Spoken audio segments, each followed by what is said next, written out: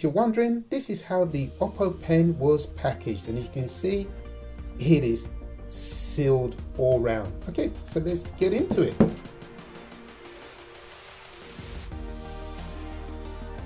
Inside the box, you should get the following, starting with this instruction manual, which is only in Chinese.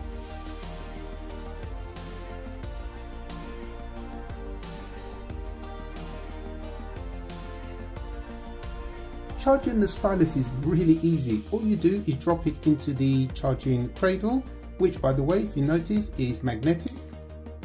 Once you do that, you'll see that the LED charging light is on. And once it's finished charging, the light will disappear.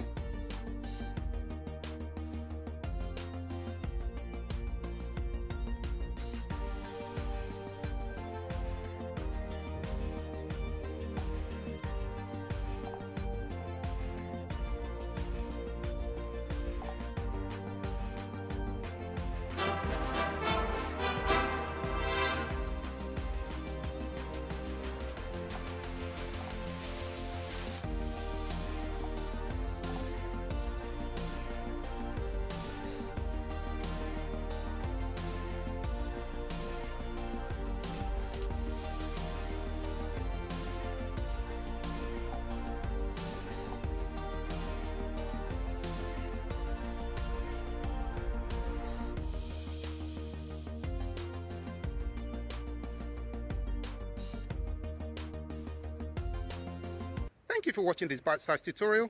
My name is Sola and I'll see you in another episode. Peace.